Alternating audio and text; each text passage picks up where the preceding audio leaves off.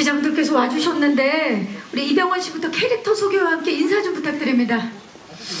네, 안녕하세요. 이병헌입니다. 아, 백두산에서 저는 리준평이라는 그 아, 이중간첩 역할을 아, 연기했습니다.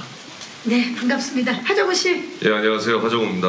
어, 저는 백두산에서 조인창이라는 인물인데 어, 북한의 어, 너무 궁금한데요. 예. 네, 북한의 아, 갑자기 얘기하면 안 될 것 같기도 해서 예.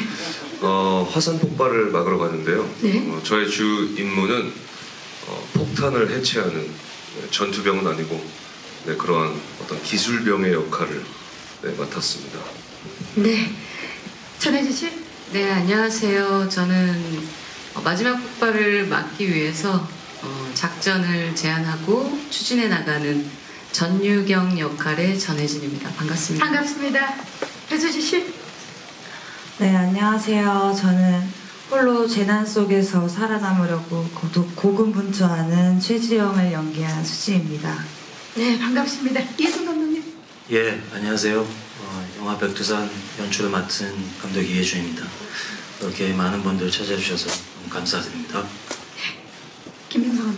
예, 안녕하세요. 그 백두산 연출을 어, 공동 연출을 맡은 김병서입니다. 어, 이렇게 추운 날씨에도 이렇게 자리 가득 메워주시고 뜨거운 관심 가져주셔서 감사합니다. 네, 정말 뜨거운 관심을 가질 수밖에 없는 조합이 아닐까 싶은데 이병헌 씨 작년에 그것만이 내 세상 그리고 드라마 미스터 선샤인을 통해서 많은 사랑을 받으셨는데 올 연말에 백두산을 통해서 이제 관객들을 만나는 소감 어떠실지 궁금해요. 어, 그것만이 내 세상이라는 영화가 마지막으로 여러분들하고 극장에서 뵀었던 영화인데 벌써 2년 정도 지난 것 같아요. 어, 매해 이렇게 무대 위에서 새 영화를 공개하고 또 이렇게 만나 뵙고 하다가 2년 만에 올라오니까 약간 살짝 어, 좀 어, 저한테도 약간 어색한 느낌이 좀 있기도 하고 긴장도 되고 어, 또 기대도 되고 어, 그렇습니다.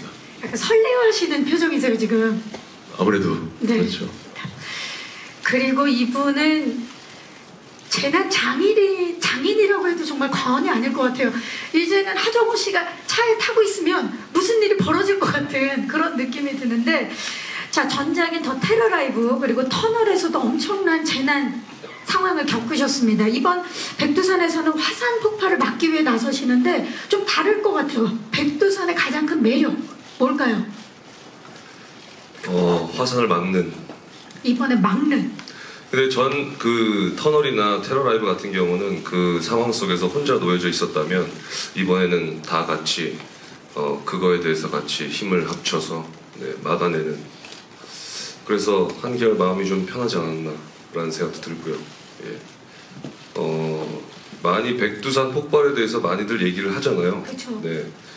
천년에 한 번씩 천년 전에도 한 번 그러한 일이 있었고 그랬을 때 이런 영화적인 상상력을 동원을 해서 이 영화 안에서 만약에 그러한 일이 벌어진다면 어떻게 어떤 일들이 벌어질지에 대해서 또 그것을 대처해 나가고 막아내는 사람들의 모습들을 통해서 큰 재미를 느끼지 않을까라는 생각이 듭니다. 네, 이번에 또 하정우 씨의 능동적인 모습 기대를 한번 해보도록 하겠습니다. 전혜진 씨 정말 브라운관과 스크린을 넘나들면서 활발하게 활동을 하고 계시는데 백두산으로 이제 관객들 만나시는 게 많이 기대되실 것 같아요. 어떠세요? 네, 저 전작 그 드라마에서 생각보다 많은 관심과 이렇게 호응을 해주셔서 진짜 너무 감사해서 이걸 어떻게 해야 되나 그랬는데 영화 백두산을 통해서 그 보답할 수 있을 것 같다는 자신감이 들어서 너무 기쁩니다. 네. 네, 기대하도록 하겠습니다. 자, 배수지 씨는 최근에 드라마 베가본드에서 국정원 요원으로 정말 많은 사랑을 받으셨는데 영화에서는 또 다른 모습을 보여주실 것 같은 기대가 되거든요. 백두산에서 어떤 매력 만날 수 있을까요? 어, 네, 아무래도 베가본드에서와는 좀 다른 모습을 보여드릴 수 있을 것 같은데요. 어, 베가본드에서는 좀 국정원 요원으로서 사건을 좀 파헤치고 해결하는 쪽이었다면 이번에는 재난을 온몸으로 맞이하고 좀 재난을 이겨내는 그런 모습을 많이 보여드릴 수 있을 것 같습니다. 우리 배수지 씨의 고군분투기도 기대를 해보도록 하겠습니다. 자 그리고 얼마 전에 제가 기사를 통해서